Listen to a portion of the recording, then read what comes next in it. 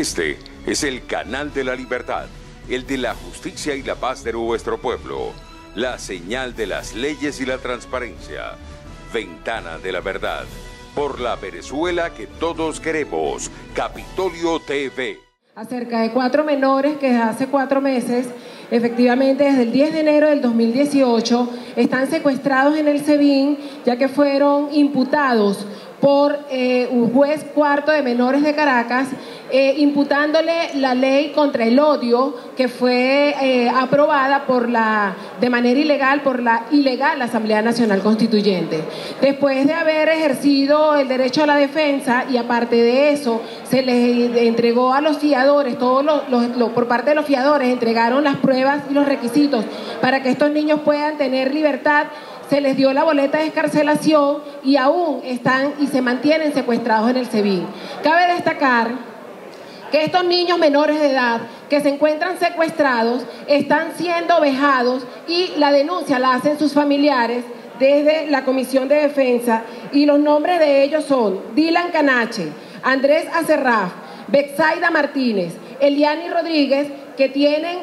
16 eh, y 17 años de edad. De esta manera, el SEBIN y el Estado que se han negado de cumplir esta medida, violando así el Estado y las leyes venezolanas y la Convención de Derechos del Niño de 1990, desde la Comisión de Familia exigimos la liberación inmediata, pero también hacemos visualizar lo que significa el desmadre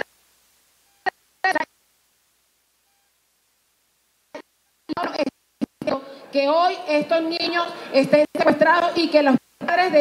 ellos también estén viven en este momento y que no quieren eh, eh, de acuerdo a lo que se les imputa eh, una protesta en contra del gobierno. Hoy los jóvenes venezolanos están protestando por están protestando por falta de transporte, porque los profesores no pueden asistir, porque su educación está en riesgo, pero también porque saben que la familia